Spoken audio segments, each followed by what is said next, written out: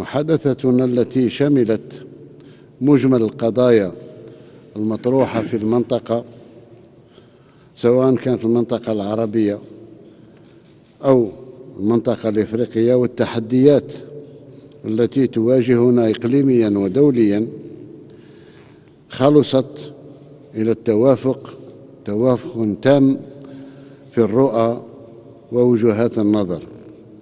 وإلى ضرورة مواصلة التشاور وتوسيعه تمهيدا للقمة العربية التي ستحتضنها الجزائر والتي أسعى مع أخي عبد الفتاح السيسي والإخوة القادة العرب إلى إحاطتها بالأسباب التي توفر أرضية مشتركة للوصول إلى التوافق.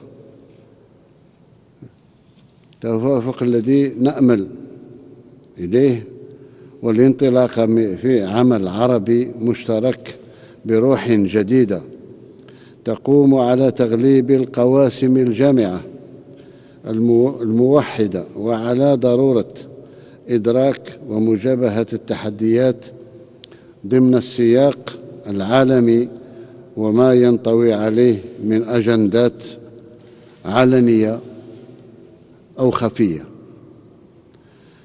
هي في الغالب ومع الأسف لا تخدم طموحاتنا المشتركة.